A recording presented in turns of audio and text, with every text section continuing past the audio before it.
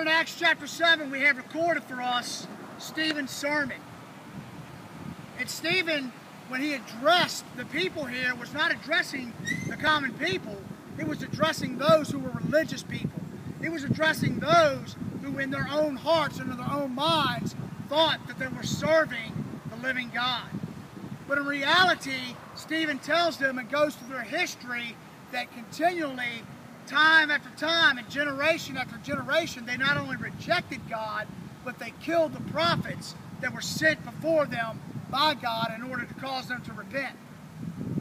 And when Stephen finished his sermon, these religious people were so angry and so mad at what he accused them of that they actually took him and drug him out of the city and stoned him to death. And why do I tell you all of this this evening, folks? Because there are a lot of religious people who are in this world. And that is as far as they will ever go. They are simply religious in the way they talk and in the way they say they act. But yet, the whole time, they remain unconverted sinners. They continue to think that because they go to church, or because they were brought up in a religious background, or because they said a few prayers or participated in some religious activities when they were younger, they propose to think that because they've done these things, that they're in good standing with God. Yet the Bible makes it very clear in Isaiah that says all of our good deeds, all of our righteousness are like filthy rags in God's sight. There's not one single thing that we can do as an unconverted sinner that God will look at and be pleased with because our hearts are not right with Him. The Bible tells us that we, before we are regenerated and brought to life by the Holy Spirit, that we were dead in our trespasses and sins.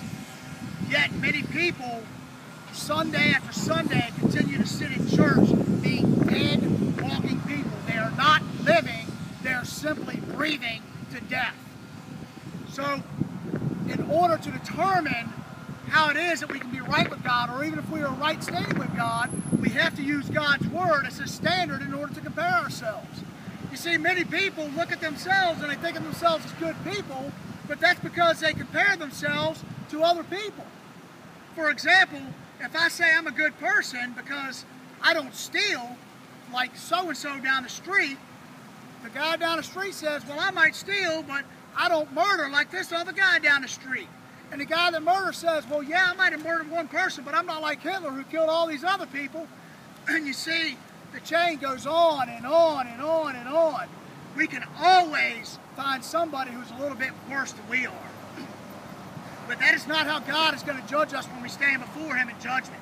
Hebrews 9 27 says it is appointed for man once to die, and after this, the judgment. We die, we will stand before God in judgment, and God will judge us by His standards. There will be no grading curve.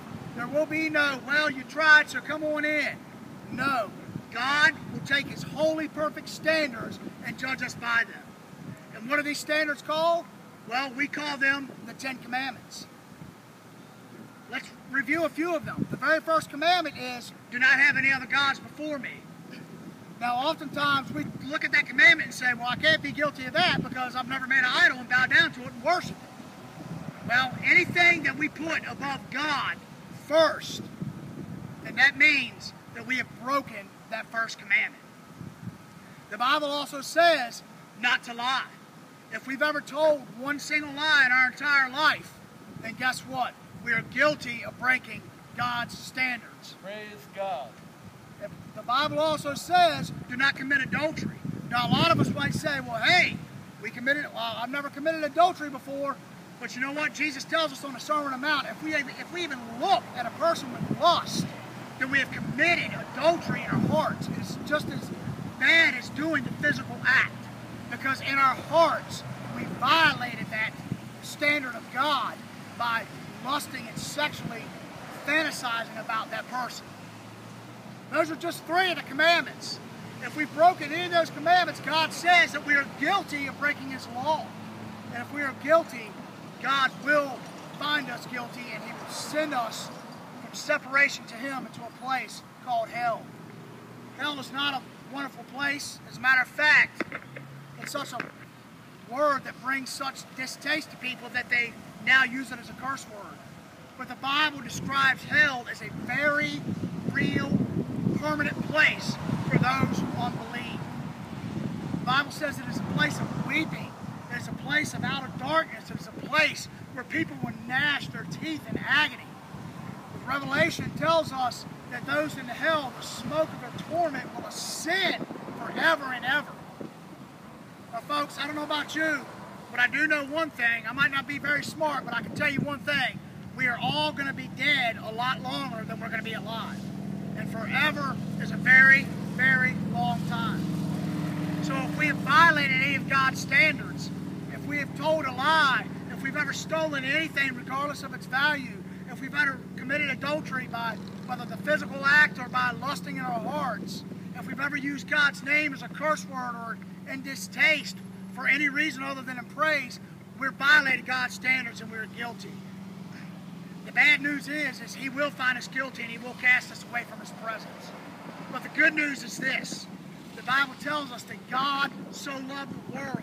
That means you, that means everybody out here, that God so loved the world that He gave His only Son 2,000 years ago, Jesus Christ, who was fully God and fully man, came to this earth.